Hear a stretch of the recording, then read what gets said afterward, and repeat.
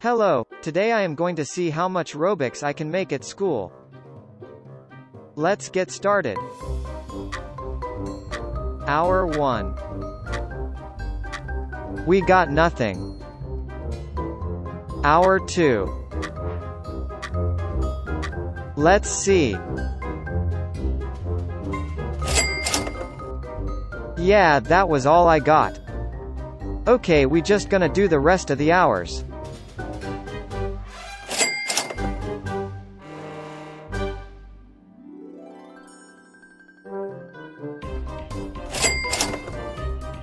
I made another 5 but I DK where to find the clip. So I made 59 Robux at school. So if you get as lucky as me, you could get 59 Robux too. Anyways, bye.